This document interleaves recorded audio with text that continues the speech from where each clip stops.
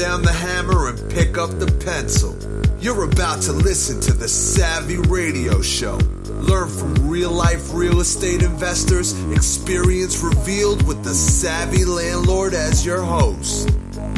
What's going on, Savvy Investors? Hopefully, you're doing good. Hopefully, you're enjoying this wonderful, beautiful, off the chain weather. Get outside with your family, go take a walk, do something. It's beautiful. it's funny that I'm saying the hypocritical because I'm in the closet right now trying to drop a podcast. I want to keep up on the on the content on a regular basis. I get a little hiccups here and there. Uh, because of growth. Um, lately, just just so you know where I'm at, uh, I'm getting uncom- getting comfortable, getting uncomfortable. Yeah, right now, I got three major projects closing, production. Let's just call it what it is. I don't know. Tiny houses in in Chattanooga, Tennessee, with my homeboy. Fun. We just uh, drilled our well. We got revenue already rolling. We have our first Hipcamp that's exciting, but it's also nerve wracking because we're buying things that are hundreds of thousands of dollars or up to with this Kubota thing and drilling stuff and moving trees and paving ways for tiny home. So it's exciting. That's a stressor, and it's out of my comfort zone in another state with uh, an amazing partner. Thank God for that. And then I'm breaking ground here pretty soon in Midwest City with some flex space. I'm really stoked about that. And then I got another project just got blessed in my face. Uh, maybe I got really inspired if you heard the last podcast with Eddie Mack about doing assisted living. And uh, I just got some five acres dropped on my lap in the middle of the city.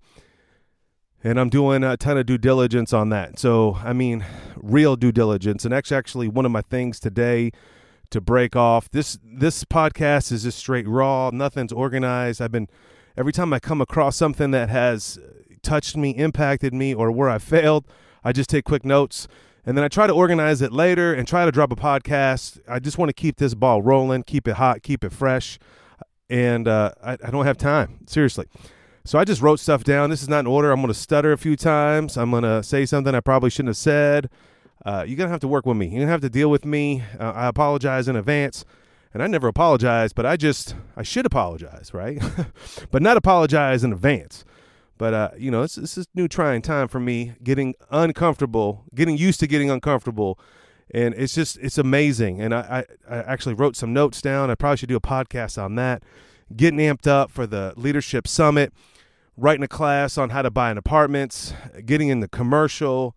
Uh, that is just tough in itself. Uh, jumping jumping from single family to commercial it sounds sexy. It is nerve wracking. You really do add another zero, and or two, and you know I'm just just riding along, uh, trying to deal trying to deal with it. So if you're in that game, give me a whoop whoop. Uh, give me a thumbs up. I don't know. Text me. Uh, that's where I'm at. If you're struggling with something, let your boy know because uh, we can we can struggle together. But let's just start off. This is one I wrote down a while back. But the other day I I dropped my son um, to a football game, and we got there early. And I'm telling you right now, you need to get there early. Whatever you're doing, get there early.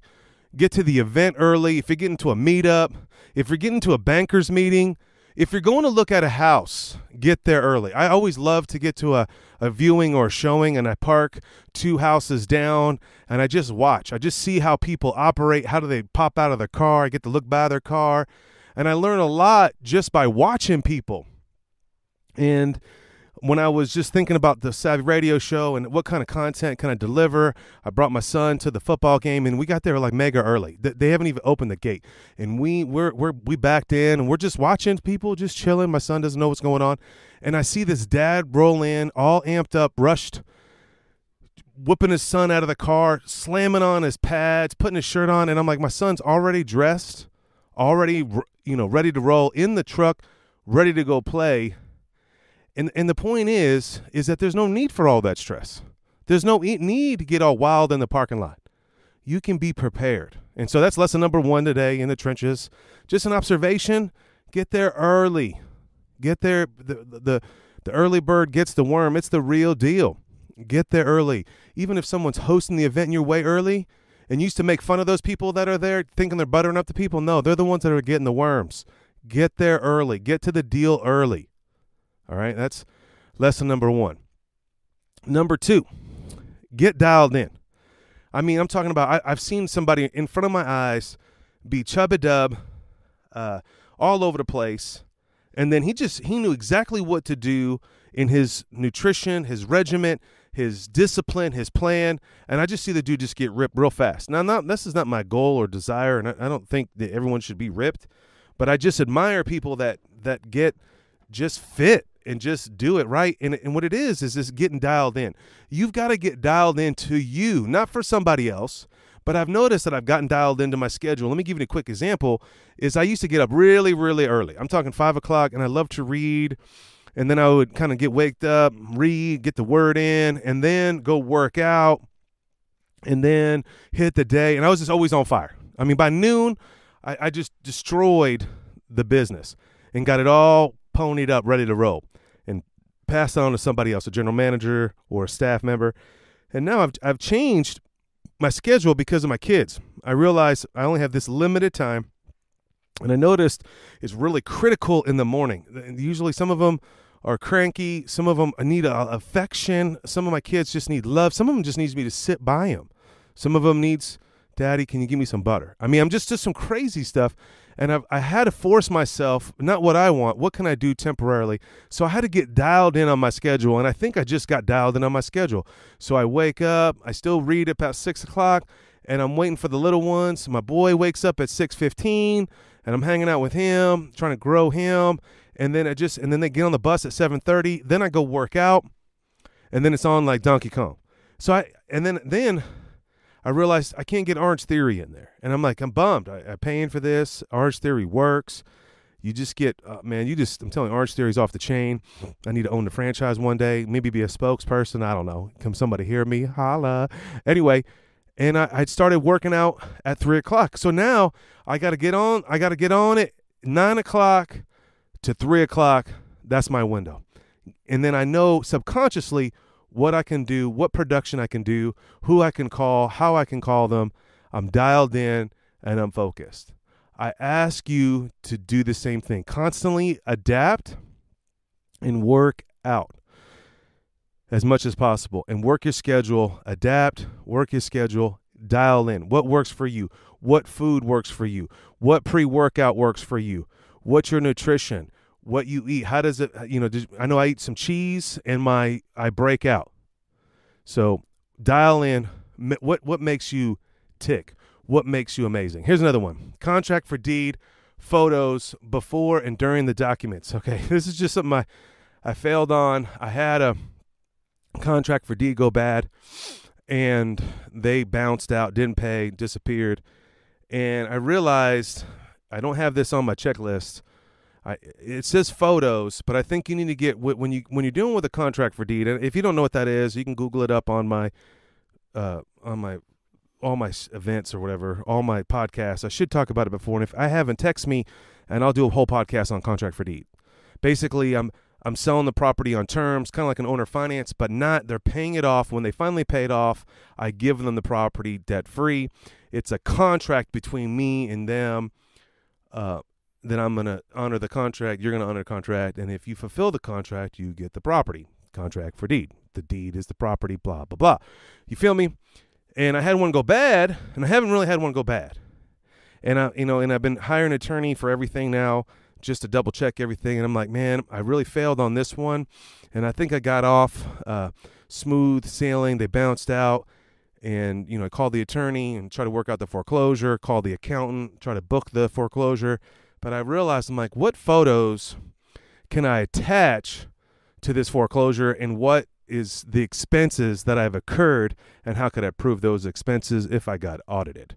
And so that's something that, you know, I definitely recommend. You probably know this already if you've been on, if you listen to my show or if you've seen me speak before, savvy landlord, blah, blah, blah take as many photos as possible, get organized, get a Google phone, whatever it takes.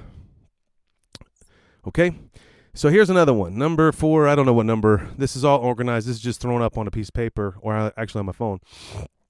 But you got to think big. Okay. Now I know Donald Trump said this. I know a lot of people say this. Think big, think, think, think, think, think big. But here, this is something that I noticed just recently with somebody that I'm coaching. So I'm coaching this dude, and this guy, he, he quit his job. He's making four G's a month. He's happy, but not exactly where he wants to be. That's why we connected. That's why I'm taking this dude to the $10,000 a month level. We're going to make it work. It's a business. You got to run this business like a champ. And then he comes into the his his session with me and he's like, "Yeah, I I I can't I, am going to turn off uh, uh, uh, my marketing." What? I you know, I'm going out of town for a for a fishing trip for a month. and uh, I can't I'm not able to take the calls. I'm like, "This is your problem." And so then I was like, well, use a, um, a phone answering service. Yeah, I've done that before and it didn't work. See, you're not thinking big. That company that I mentioned may not be the right company for you. But if you're ever going to scale, if you're ever going to go to the next level, you can never even say, I can't do it. I, I was talking to another entrepreneur the other day, and he's like, he's just, man, it's my sweet spot. We got too many events, and we got, we're going, you know, we can't handle it. We don't have enough. You're not thinking big. Think bigger. When you have an obstacle in front of you, think bigger. Even if it's just so cheeseball as, you know, the apprentice back in the day when, you know, everybody was all stoked on that. You know, would Donald Trump do that? You're fired. No, you just don't work with those type of people anymore right? You just if you don't like that phone service, that doesn't mean you should stop your marketing. You spent months, thousands and thousands of dollars a month, and then all of a sudden, because you're going on a fishing trip, you think that you should just stop your marketing. You're just missing opportunities. How, what's your exit plan? When you're out of town plan? I mean, I just love Rich Dad Poor Dad. I know some of it call him, he went, he's a, he went crazy and I, I, I don't know. I read his old stuff, but the guy's like, you're successful if the business runs without you. And I got convicted. I'm not lying. I'm like, if I disappeared for a little while, I can get off for a month or two. But can I get off for a whole year? That's a dream I have. A whole year, like I just disappear. You don't know where I'm at. I'm doing podcasts in some cave somewhere would my business be more successful and if I was running it? Think bigger. What the F? Think bigger. Create systems. And then on top of that, this dude, I could just see his eyes. He doesn't trust people. I'm telling you, you got to trust people. Yes, you will get burned. Yes, you will lose money. That is my number one calling losing money. It bothers me. Seriously, especially if stewardship. But for you to go to the next level, for you to get bigger, for you to fulfill your dreams, whatever it takes, You've got to think bigger. How could I make this work? Who could cover me? I, am I'm, I'm so honored to work with so many awesome entrepreneurs right now. I mean, I'm telling you, I got, I, I can't, every time I sit down with one of these entrepreneurs, I just get excited. You know, they're in two different markets or one flies in every other month and, and works in an, I mean, I'm like, wow, they think bigger. Can you go international? Can you go global? How? I mean, you don't have to make this decision today, but for sure, you need to take off for a week. Who's going to man your phones? Who's going to go do your site visit? Maybe you need to let go and hire a property manager. Or maybe you need to let go and hire a part time property manager. Or you maybe need to let go and just hire an 18 year old to carry a phone for you. Let go, trust people, think bigger. It's time for you to hire an assistant. It's time for you to figure out virtual assistants. It's time for you to get coaching. It's time for you to think bigger. I'm telling you, the minute I start thinking bigger, how, how, how can I do it? Stuff just rains. Sometimes I just have to write it down. And I did this the other day. How do I determine that this land purchase is a bet is a value, is a home run? And then I just start writing out. Okay, appraisals, mentors, think bigger. I, I, I don't know how to evaluate land but I always avoided it. That's the problem. And then one of these friends that reached out to me two years ago, man, I'm doing this big development off of I 35. It's going to be off the chain. I'm like, nobody, no, that's not me. You know, I'm just single family. I'm the savvy landlord. And now that dude's killing it. And I'm like begging that dude to coach me so I can do the same thing that he's doing. And I had to pull the trigger and I had to buy this land. I don't know what the hell I'm doing, but I'm going to think bigger. If this dude can do it, I can do it. He learned from somebody think bigger. I know it. I'm just just beating it into your head. You're going out of town. Don't stop your marketing. Create more systems. You must trust yourself, your mind, trust people. You'll never reach your potential. And I always say this. What's the worst thing that can happen? You lose a couple hundred dollars on a answering service, you're afraid to hire somebody else because they're going to ask you questions and you don't know how to answer them. Welcome to the club. That's why I love hiring virtual assistants. They fire back all the time with questions. How do you want this done? Where do you want this done? How do you want this? And I'm like, I, I, I don't know. And you just start writing, and then you fail. And then you hire another VA, and then you fail again. And then you hire a real employee that costs you $3,000 a month, and you fail. And then you learn, and then you create systems. And then now I can hire accountants. I can hire smarter people than me. I'm still figuring out how to hire better attorneys. It's trial and error. Or you learn from somebody else, or you get referrals from someone you trust. Think bigger, move on. Okay, here's another one. Man, it's hard for me not to say names on this stuff because I just not I'm not about names and I'm definitely not about tearing people down. But here's something that just someone just happened in my in my world and it stung my young friend. A young entrepreneur trying to go on his own and starts making decisions based on someone else. He thought he was going to partner with this person. Hey, let's get into to the game together. Let's buy this land and let's do this and let's do that. And here's the problem. If you're ever going to partner with somebody, show me the money. Like you've got to have enough balls to have a one-page agreement that says I'm going to do this. Um, don't do anything without a commitment. I know this from my own experience as a young, I'm talking about 20 years ago, uh, investor slash I was involved in the club business and I was going to open this club. And this dude, I, I believe in you, VanCauwenbergh. You're the greatest promoter. I've seen what you've done with these bands, blah, blah, blah. Yeah, whatever, dude. And he was making a ton of money. And then I was like, okay, let's, he's like, let's open a club together. He's like, I'll, I'll front you. I'll give you the, the sound and lights, the money.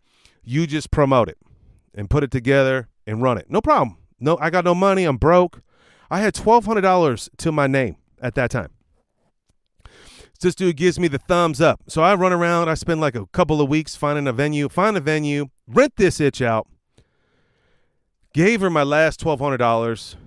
Call my my my investor, my friend, whatever you want to call this individual in your world. Come on down, man. Come check this out. And he walks through it. He walks through the venue. I don't like it. I'm not going to do it. I said, and I was devastated.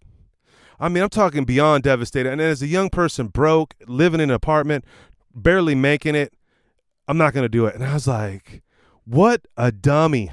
What a, I, I don't even like to, what a dumbass. What a dumbass. I am such a dummy. I put up all, I put up all this time, all this energy, and the dude said, no, see, my, my problem was it was my fault. It was my responsibility. And I'm glad at that time I was madly in love with reading and, and growing as an entrepreneur that I just earned my stripes. I just got a college degree. I just went to two semesters. I did it right. That will never happen again. And I just saw one of my homeboys go through this same pain. And that's why it's on the radio show today. Don't go through that pain. Get your stuff together. Get a one page. I'm. You're gonna front me fifty thousand, and you're gonna. We're gonna split this business. Whatever the terms may be, and I'm telling you, those terms are not to be good or right at that moment. You're gonna change. You're gonna grow. I'm in some partnerships right now. It's just difficult. Just me in Oklahoma and, and my homie down there in Tennessee. I feel sometimes I don't feel like I'm contributing, but that's the deal. That's what's working. It's not easy and you're going to change. Things are going to change. Maybe we need to hire a new person because you're working so much and that costs us more money. Things will change, but it's in writing. This is what you're responsible for. This is what I'm responsible for. Man up or woman up and get a commitment beforehand. I remember when I when I was a young person and I applied this this pastor came up to me and he's like Stephen, we you know you're really good with kids, and you worked at Kanakuk summer camp, and we'd love for you to help us with the youth group. Absolutely. I mean, I would love to volunteer. I mean, I got saved. That's how I came to know Jesus was through the youth group, and I was like, all right. But I remember he's like, I need you to sign this piece of paper, and I was like, whoa, like a contract, whoa, and I realized it was just a, a mental, physical thing that I'm committed am I committed to serving every Wednesday and Sunday at this time? Right? I signed that piece of paper, but it made me commit. Next time you want to partner with somebody or a private lender, have them give you a term sheet, have them commit to you. You can do this. All right, here's a quick one. I just learned uh, in commercial. So uh, I'm buying. I'm telling you guys, I'm I'm way out of my league here. Uh, I'm just I'm, I'm excited, and I'm also just peeing my pants every other day. Seriously, my wife has no idea why I got fever blisters. I know why.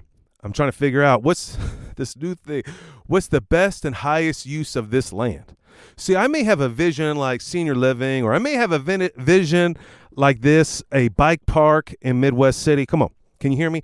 It, it's beautiful. It's it's 20 feet in the air. It's a canopy, and there's a bunch of jumps. And if you like mountain biking like I do, you know what I'm talking about. It's got berms. Come on, you got you can do some manual. You, you, you, it, it's a place where like-minded people come and ride bikes. It's, it's off the chain, but that's not that may not necessarily be the best use of that land at that time, economically, time wise. And I've learned that just some real quick for you. If you get in commercial, what's the what's the best and highest use? Here's something else I just learned the other day too. So, you know, I'm trying to help somebody, and I'm like, this person needs to learn this, and that this and that individual said, I already taught him that. You may have taught your children how to do something, but they may not have received it. Think about it. You may have communicated to them integrity, but they may not have received it, or somewhat you thought that they got that already taken care of. Don't leave it to chance, is what I'm telling you. They may be trained, but they may not have received it. Make sure that it's understood. And so this is just my own personal effect with my daughter. I saw something inside my daughter that I can tell uh, her relationships were not were not yielding really well, and she was having some conflict. And I was like, Shanae, I was like, have you explained to her, you know, it's better to listen, or have you explained? Yeah, I've already told her all these things, or she already knows them. Just assuming this is the real deal, or they've received it. Don't assume that whoever has been already trained or taught something, you need to you need to verify that all right, I don't know if that means anything to you, but I, you know I can get all deep on it. But I, I want to move on to the next one. Got a free roof the other day. Yep, off the chain. Got a new crib. Bought, bought a new uh, asset. Thank you uh, to the to the people the Bird Dog out there. Can't wait to pay you Bird Dog fee. Fifteen hundred dollars. Whoa, that's a Bird Dog fee. But it was a smoking deal. It's a hundred fifty thousand dollar house.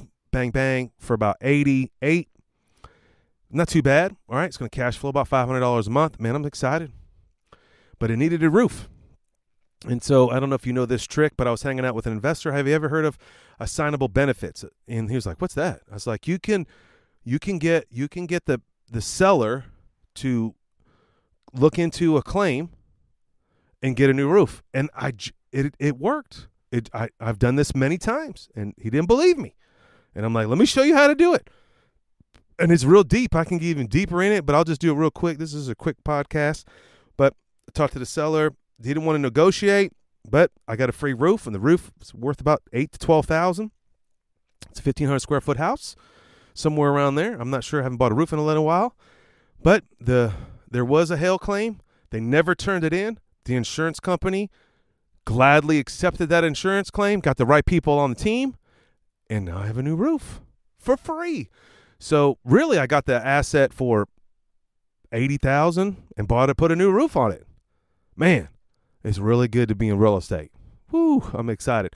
I'm just telling you that assignable benefits. All right.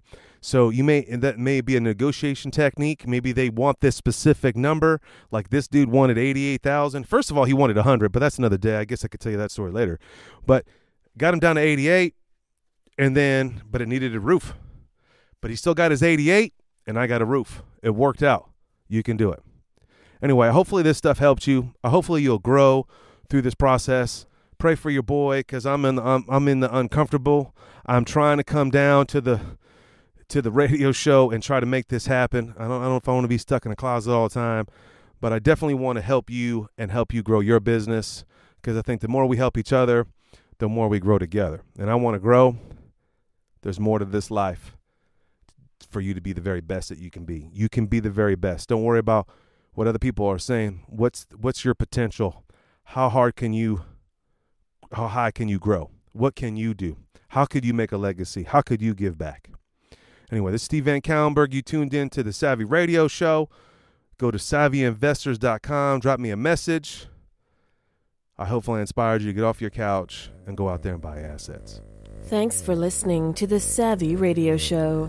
Glide online and listen to our other motivating episodes at savvyradioshow.com. Connect on Twitter at LandlordBook and always be buying assets.